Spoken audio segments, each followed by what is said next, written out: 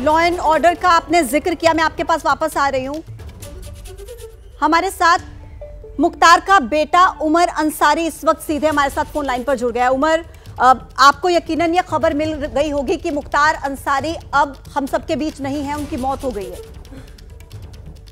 ये जानकारी आप मुझे दे रही हैं। मुझे कोई ऑफिशियल जानकारी अगर मैं इसको अधिक अधिकृत मानूं तो इसके अलावा कोई जानकारी मुझे नहीं दी गई। उमर हम आपको पुख्ता जानकारी दे रहे हैं क्योंकि हम तक भी जब ये जानकारी ऑफिशियल तौर पर पहुँची तभी हमने आप तक ये जानकारी पहुंचाई। अभिषेक है मेरे साथ। आ, उमर उमर मैं उमर मैं अभिषेक उपाध्याय बोल रहा हूँ। आ, अभी कुछ देर पहले मेरी आपसे बात ही हो रही थी और आपने बताया कि आप वहाँ से चले हैं। मुख्तार अंसारी की हालत की आपको जानकारी मिली है और उसके बाद आप देखने के लिए निकले हैं। मुझे ये बताइए कि अभी जब मैं आपसे बात कर रहा हूँ, क्या अभी तक आपके पास कोई ऑफिशियल इंफॉर्मेशन कहीं से कुछ आपको जानकारी मिली उमर? ऑफिशियल सूचना नहीं है मेरे पास, जो आप बता रहे हैं, बस वही बात है और जो भी है, हम लोग अल्लाह की रजा पर राज़ी हैं और इन लाही राज़ी कुल्लु नफ्सिन मौत।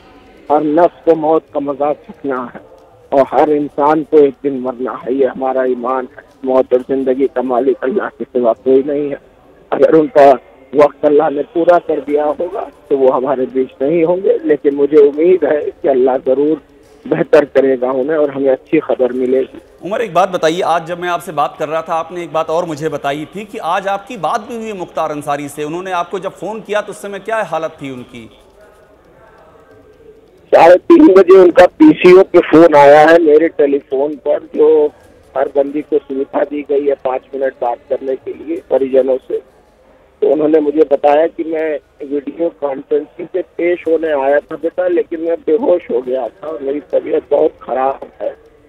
तो मैंने उनसे कहा कि मैं कचहरी में ही हूँ और मुझे पता है कि आपकी वीडियो कॉन्फ्रेंसिंग होनी थी और आ, मैं परमिशन ले रहा हूँ कोर्ट से अगर मिल जाएगी तो मैं कल आपसे मिलने आऊँगा। तो उन्होंने कहा कि तुम मिलने मत आना मैं इस कंडीशन में भी नहीं हूँ कि अपनी बैरिक से निकल कर आ पाऊँगा। और मुझे जहर दिया गया है और मुझे बहुत तकलीफ़ है मेरी आँखें बहुत जल रही हैं और जैसे लग रहा है कि अंदर से सब कुछ काट रहा है। उमर कितने दिनों बाद आपकी बात हो पाई थी उनसे? चूँकि आप मुझसे ये भी बता रहे थे कि आप लोग बात करने की कोशिश कर रहे थे पर बात नहीं हो पा रही थी। आठ आठ दस दिन बाद बात हुई। आठ दिन दस दिन बाद उन्नीस तारीख को मेरी बात उनसे हुई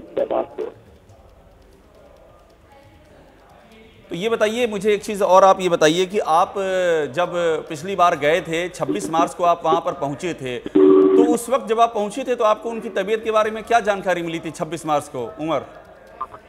मुझे तो देखने नहीं दिया गया था। मेरे बड़े अब्बा सांसद जी जो है अफजाल बाबा, उनको देखने दिया गया था।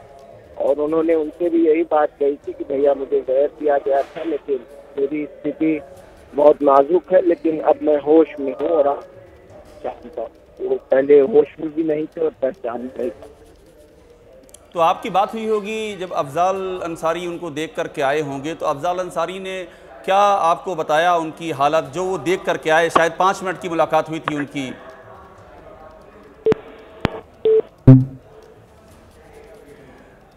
पूजा मुझे लगता है कि फ़ोन कट गया है उमर का उमर अंसारी का लेकिन जो मुझे जानकारी दी है पूजा उमर अंसारी ने वो बता रहे थे कि कि जब वो 26 तारीख को गए थे तो क्या बातचीत हुई थी? और आज जो आखिरी बातचीत हुई है तीन बज के तीस मिनट पर उसकी भी जानकारी उन्होंने दी है। पूजा।